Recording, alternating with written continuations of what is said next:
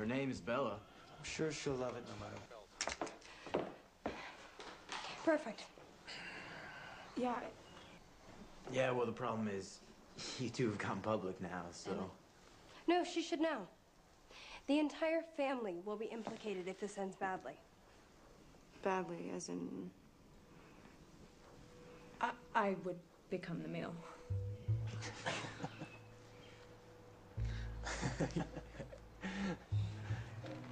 She thinks we cheat. I know you cheat. You're out. Wave, come on, it's just a game.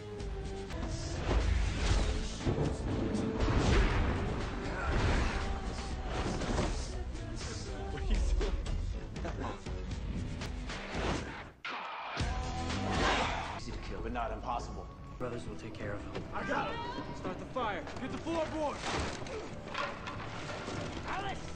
Alice, go!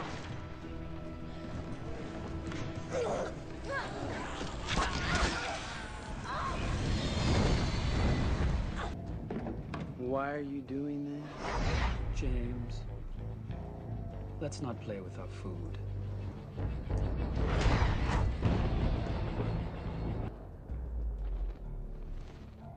I believe this belongs to you.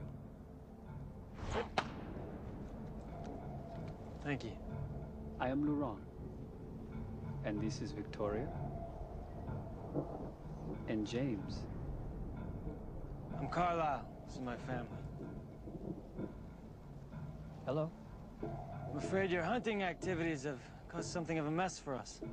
Our apologies. We didn't realize the territory had been claimed. Yes, well, we maintain a permanent residence nearby. Really? Well, we won't be a problem anymore. We were just passing through. The humans were tracking us, but we led them east. You should be safe. Excellent. So, could you use three more players? Oh, come on. Just one game. Sure. Why not? A few of us were leaving. You could take their place. We're about first.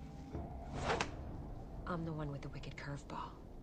Oh, well, I think we can handle that. Oh. We shall see. They came to warn us about James. This isn't my fight, and I've grown tired of his games.